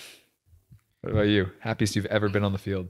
Uh, same thing. uh, Honestly, like, cause that was my first. I made my debut in Orange County too, Mm-hmm. and I remember at Same half- field? That's Same field. crazy. Yeah, that Same is field. funny. That is funny. Same That's field, bro. I remember at halftime we were down two one, and uh, everyone else was going back inside, and Michael was like, "No, no, don't go back inside. Warm up." And I was so nervous. Like I was on the field at half, running up and down, like doing juggles, kicking Dude, the you ball. feel like a little down. I kid didn't know. Yeah, yeah. and I was just so nervous. And then uh, we ended up winning that game. I played well. We ended up winning five two or Yeah. five three. And then I remember after. Uh, everyone was so happy. Like the fans were asking to take photos, and even Mimi and her her Yeah. parents were there. They're like Anthony, and I was like, oh, hi." about to go in. I, was- I was just like so happy, and I, I like I kind of embarrassed myself because you know when normally when you're going into a game you're supposed to be focused and whatnot, and as I'm subbing in I hear I hear me I hear someone there like Anthony I'm like wait I don't know anyone here I look over I see Mimi and her mom and uh, and dad and I'm like guys and I'm like jumping up and down and Mike's just like what are you doing Mike's looking at me like what are you doing uh but yeah that was probably the happiest time of my life because it was my first game we won uh, and then in the change room you know like how it is the Mhm. environment and i remember being in the change room we are playing the music uh throwing the water balls around everyone just just vibing bro that was definitely my my happiest day Yeah. That's funny. So both of you guys' happiest day on the field is on the same field. Same field, bro. That's crazy. That is crazy. That's pretty cool. A year later, apart. Too. A year A apart. year apart, too. yeah. What about you? What was yours? Happiest moment on the field? Yeah. Um, Sacramento Republic, 2019, the same uh, same year as you actually, where I got back from my second sports hernia, Mhm. and like because I had been at that point, um, like all St. Louis struggled, New Zealand, you know, Mhm. struggled down there, came back, another surgery, and then I returned at Sacramento Republic in front of like 10,000 fans, and like I just remember being like, I after three years of struggling, Mhm. I was like, wow, I'm finally like Yeah. back. Mhm. and like the same reason that's like my best contract the, the contract i'm mo- most proud of was mm-hmm. that 2019 roughnecks one because i got back there mm-hmm. because you like took it for granted not took it for granted but you don't realize how amazing that is until you don't have it anymore which is why mm-hmm. free agency sucks. But then you're going to enjoy this next place where you go in the team environment like you talked about. You're just so happy to be back and you're not going to be like Ah, man, training sucks you're just like no i'm i'm here i get i get to do this i was at my couch mm-hmm. last week now I, now i'm here so yeah that was me sacramento republic i remember the hearing the drums and everything i'm like damn Yeah. i made it back I didn't think i would but That's i made cool. it back That's yeah That's so i think the camera just i think there's probably a it turned off, right? Yeah. Oh, so you got the what is it called? This this Fitzer or whatever? Pfizer. Oh, Pfizer, whatever. Bro, I don't know how to pronounce that. the fister The Fister. yeah i got the fist I'm getting Johnson. I think the Johnson and Johnson. Johnson, that's just the one That- dose one yeah, huh the one- Yup. Easy one and done. did you feel any symptoms or anything after yours, or did you feel yeah sick or no tired? i only spoke in spanish for like a week Idiot. okay i got three more questions for you guys okay you can power these out you ready I'm ready. Let's go, bro. Okay. Oh no, I didn't cross this one off. I got two more questions for you guys. Um, what's something that most people misunderstand about you? Oh, that's a hard question. Yeah, like when when people like think about Anthony, they don't really know you, Right. or even if they do know you, what's something they get wrong? It's a good That- question, huh? That that I'm a F boy. no, no, no. Uh, that's a really good question, bro. Damn, They this guy came prepared. This guy came prepared. I don't even know what. I mean, people think I'm shy, but like once you like get me like once I'm comfortable, like I'm not as shy as I usually am. But or like people think I'm soft because I'm light skinned, but I'm not. Like Well, you know. catch these hands. What? No, just kidding. but I mean, just shyness. I feel like hmm But I, you are a little. You're more shy than other people. I'm. I yeah, I'm more reserved. But like once I get Yeah. comfortable, like I'm fine. yeah. That's a really hard question, bro. Wow, I'm still thinking about it. The people. because like once you're in a uh, in a comfortable environment, you, you're friends with people, you're with your family. You're not you're not like reserved to yourself, quiet. Still can't think of anything. I can't. Yeah, my, you're gonna have to go first on this one, Matt. Uh, DJ went first. I already already. went. Yeah, he went, he went first, but you're gonna have to. you- Um, well, I think in terms of like YouTube, that I'm more serious than I actually am. You know, Mhm. like I think because like I always am talking about like I, it's all about football, Mhm. and that's what I take the most serious. But besides that, I don't take anything serious. You know, like life jokes, TV, whatever. It's just all fun. he said Mimi. yeah, but seriously, I always like. Uh, uh, but it's funny because like when I'm just talking about football or like nutrition or ta- I get super like serious about that. Mhm. But it's not me really. That's just that one aspect about Yeah. me. And then other than that, it would be like, uh, um, actually that's about it. I think that's it. Yeah, I'm just. Damn. Uh, that, but that's like YouTube. But I think like if people that like friends or or other like people that meet me, Mhm. um, yeah, I don't know. Actually, it's a good question. Whoever thought that question, that's a good Yeah. That's an amazing question, man. I can't think of anything. You can't think of anything. No. Well, you can. We can table it, and if you could, if you think about something, you can come back to it. What was the question that you had to think about? Uh, what Go back oh, to it. beg, best compliment. Yeah. Have you thought about anything? Uh, I mean, I mean, it's family related. Like, Mm-hmm. I mean, my little cousin and my mom have both told me, you know, you know, I'm your favorite soccer player, or or I'm their favorite. And, you know, that's Mhm. more heartwarming than anything. I feel like, Mhm. especially my little my little cousin. You know, he's like four or five. He's playing soccer. That's cool. you know, so, So it's, like, it's again, it's like your impact on somebody else. yeah, you know, Yeah, it's my cool. little cousin. For him to say that, you know, it's beautiful. To be like a like you're a role model in his Yeah. eyes and everything. That's cool.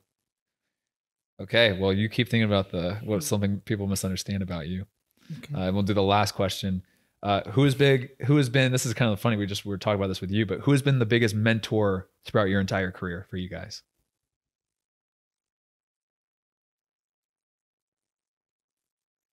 Hmm. Mm, for me, biggest mentor would be Godwin. Honestly, Yeah.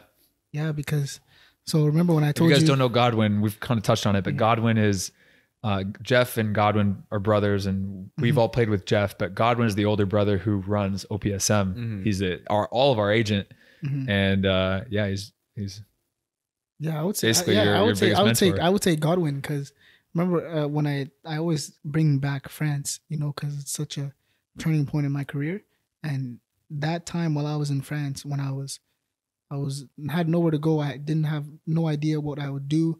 Uh, I remember I messaged Godwin at the time because he was he was also doing.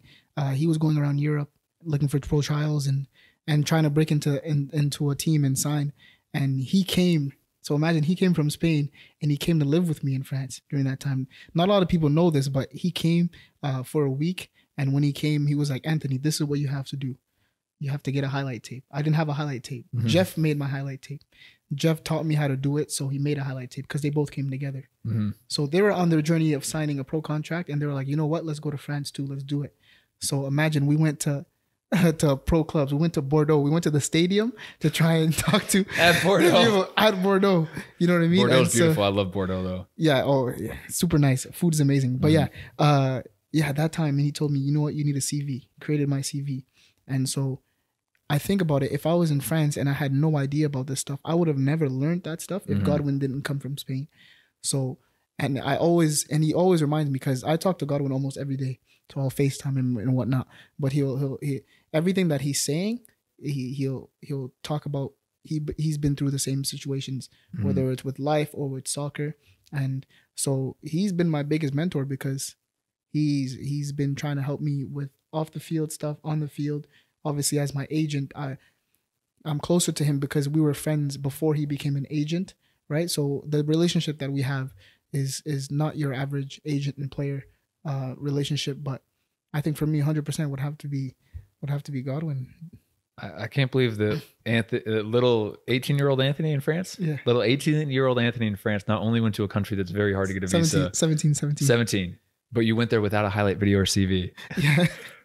That's, You I said mean, you talked to the board. who- You said what? bro we wa- we walked and we talked we went to bordeaux stadium and we talked and we're like yeah we're supposed to beat this the yeah yeah it was just That's you try to you try to bullshit your way into force to something. force. yeah at that time bro i had no idea about it because i had no one like i had no one Yeah. to tell me about it at that time Mhm.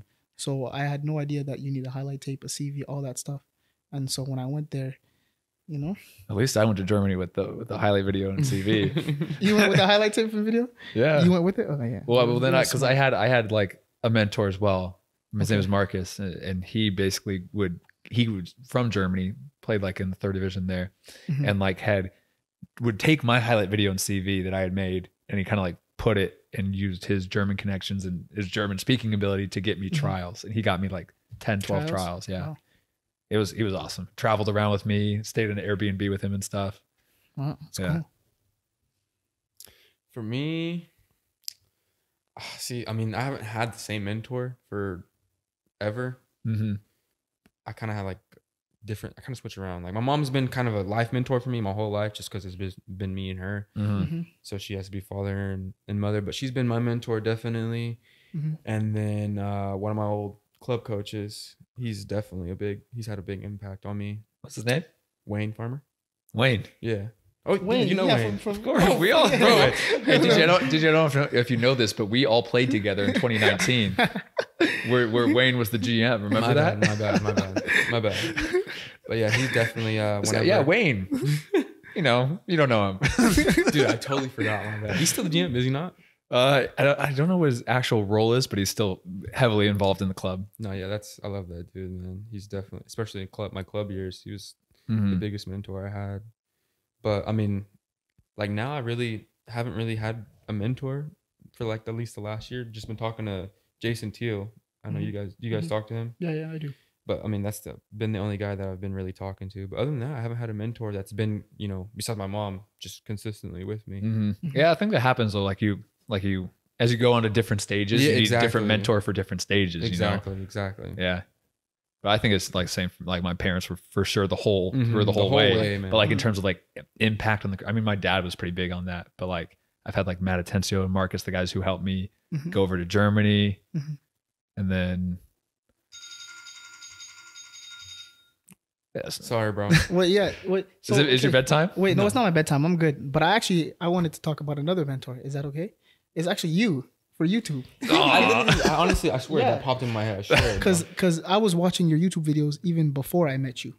When, So- when, when did you first see my video? What? So I saw your videos in Germany, but consistently, No, It like what? Where were you in 2016? Then I was I was. Were you in uh, France at that point? That's no no. That was before. I, that was one year before I went to. oh uh, damn. France. Okay. So that's when I was I was trying to get. No, that's what that's when I was trying to get back on the team that I got cut from. Yeah. So I I, I started seeing your videos, and then and then obviously uh, kept watching you until you ignored my message in New Zealand when I wanted to. You still answer all your 'cause I DMs? was- I do, man. I I, I try to. We'll. I really I really do try to. we'll see. We'll see. it's it's getting kind of crazy, but I do. But yeah, so for you, you were actually a mentor to me for YouTube, Mhm. especially you know bringing me out to Portland and showing me basic things, how to create a thumbnail. Like this is how you do it. This transition. So yeah, Showing you Instagram reels. Instagram Reels. No, you actually did, bro. You put me on. You put me on Instagram Reels. Like you, bro. All that stuff. You know, uh, that was you that mentored me. You're gonna make me cry. So, so I yeah, it's actually kind of crazy. There's a bunch of different mentors that you have, and obviously my mom for life. Mhm. You know, and Godwin and Footy. But bro, you were a mentor to me too on YouTube. That's pretty crazy. That's Yeah. funny. for me, like whenever uh, 26, when you were doing the video, remember when I messaged you? Yeah. And you, Did he answer you? he answered me the first wow, time. Second look time at that. though. At least he at least he answered you, bro. They got to, that's where we got to the point. The second message was at the point where I'm like, okay, I can't, I can't do this. I can't do it. I wish I could, but I can't. No, but I was definitely watching your videos, taking everything I could from your videos, you know. So that I mean, kind of that kind of did help me, you know, because I, you you kind of put more knowledge out there for players, you know. You know what I'm, you know what I'm Mhm. saying? Yeah, yeah, yeah. Like about how Yeah, you need a highlight how video when you go over to Germany. You're gonna go over to Europe. At least have a highlight video on CV. That's yeah, but imagine if I didn't I, at 17, I didn't have someone telling me that. It's like Mhm. I No, was know, like, it's- oh, I'm going here to. it's true. know? Mm-hmm. It's it's kind of what we talked about. You have to really experience it. And then the thing is, it's like when you experience it, then you might like if you don't have like it- you might give your knowledge to a few players. Mhm. But like that's why I mean that's why YouTube. I was like, wow, I could literally reach. Even my Mm-hmm. first video got 30 views. It's like I reached 30 people. Like, I was like, I reached 30 freaking people. That's crazy. But Mm-hmm. That is. it's just funny. That's how I, I saw it. No, that's that's cool to hear. I appreciate that, guys. Thank you. Yeah, I got you. You're blushing now, but it's But, okay. uh, luckily, the camera is not on me anymore. It's this is the only one that's on, so it's on you guys. Um, yeah, so that's that's all the questions I have. Hope you guys liked those questions. Last I did. chance on the uh, best compliment and misunderstood. well, he said his. He said his. oh yeah, you said yours. Misunderstood. misunderstood. Honestly, I can't. I can't think of anyone like of anything. Hmm. Yeah. No, that's fine. Uh, You, that might once you I'll find. think. Do you know what? I'll think about uh, like an honest answer, and then I'll I'll give it to you. no, no, no, no. Give it to me. Create a YouTube video about it, and I'll shout it out. Okay, let's go. Bet. Shake on it. let's get it. These are good social media ideas. That's that's what I'm here for. Okay, well, um, that was the uh, Against All Odds podcast with you guys. This is your third time on the podcast now. Third time or no? I can't remember. Did we do one podcast with you the first year or two? Because then I came back. Remember during the time when I came to visit, I think we only did one that first year. Then you did one when you visited, and then yeah, and this then is this third. one third. And this is your second time on the podcast. Second podcast. Well, welcome back, guys. Hopefully, we'll come back for your fourth and third in another year or so. Hopefully. Um, best of luck with uh, going out to South Bend, Anthony. Thanks, best bro. of luck with your next opportunities, wherever those are. And uh, yeah, all again, these guys' uh, social media stuff is gonna be in the description as well. Go follow them, go check them out. And then any last words before I uh, end the podcast? Thank you for having me. Yeah, thanks for having me. No, Appreciate no it. problem, no problem. Um, I'm still the two touch king, but okay, that's where I ended. See you guys later.